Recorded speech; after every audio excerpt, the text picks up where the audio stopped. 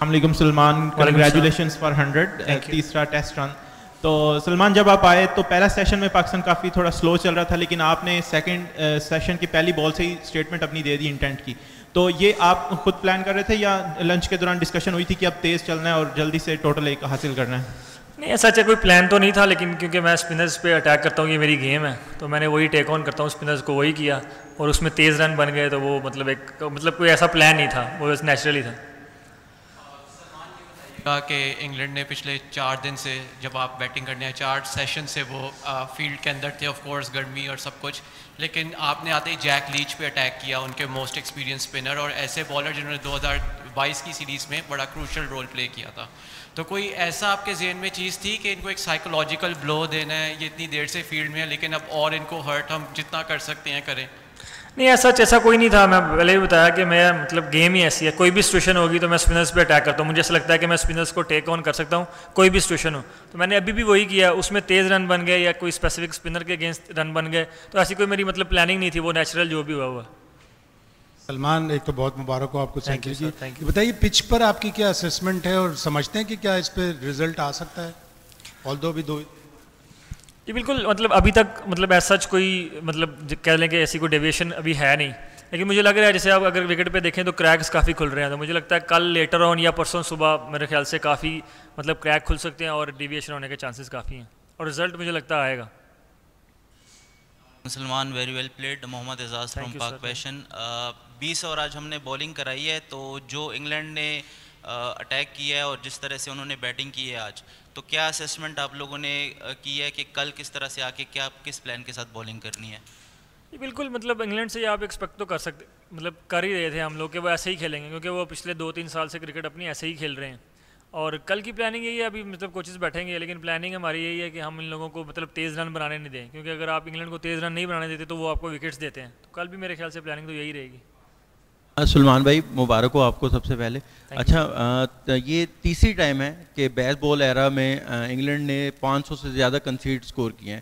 اور اس سے پہلے وہ دو دفعہ جیتے ہیں۔ یہ تیسری دفعہ آپ کو کیا لگتا ہے رزلٹ چینج ہوں گے؟ اور ایک تو میچ پنڈی میں بھی تھا پچھلی دفعہ دو ہزار بائیس میں۔ تو کیا لگتا ہے اس دفعہ considering the pitch result change ہوگا؟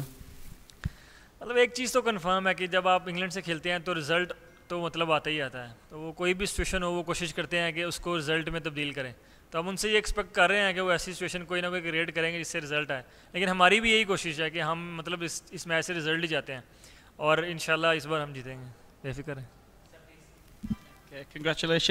on the 100. Are we okay for English? Yeah, yeah, I'm all right. Thank you. Yeah. Um, can you tell us your view on the uh, Chris Walks catch on the boundary? Did, did you feel like it was it was going to be your day today when it could have been out and it was six instead? Initially, I, I did thought it's out because I was walking to the dressing room. But I heard and I talked to umpire. He said when he took the catch, uh, when he took the uh, ball out and then took again, it his foot was on the boundary. So I don't really know because I haven't seen it again, but I will look at it. But I initially thought it was out. I was walking to the uh, pavilion, but I, I, I haven't seen it again. I will see it. Is either way when that goes in your favour, it must mean it's a good day for you. Yeah, that's how. If you score hundreds, things has to go your way, and it was. Uh, you can say it was my day. Uh, hi.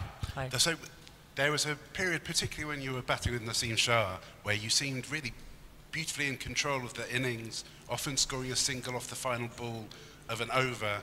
You really seemed in charge of things. How, how did you find that? How, and how would you describe the challenge that England gave you?